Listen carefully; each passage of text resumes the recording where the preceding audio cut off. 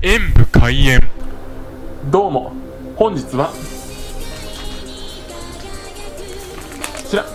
大麦工房ロアさんのミニクリとテリーヌを食べたいと思いますまだあったんですよね大麦工房ロアさん。というわけでね。テリーヌ。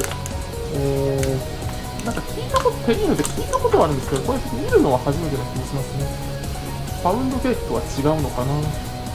断面はこんな感じですね。ではいただきます。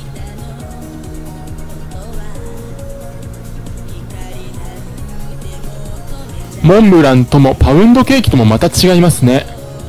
生地はしっとりとしていて噛んだ瞬間に口の中にそのしっとりとした甘さが口ふわーっと広がってきましたね。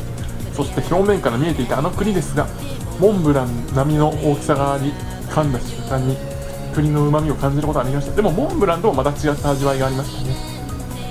クリームがない分栗で真正面から勝負ということなのでしょうか。というわけでこちらの点数とさせていただきました。もっと食べたくなります。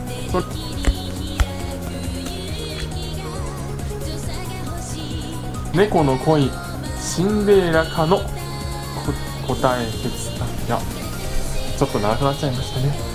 猫の恋はシンデレラの恋よりも切ないのかもしれませんね。ご視聴ありがとうございました。コメントしていただけると嬉しいです。演武閉園。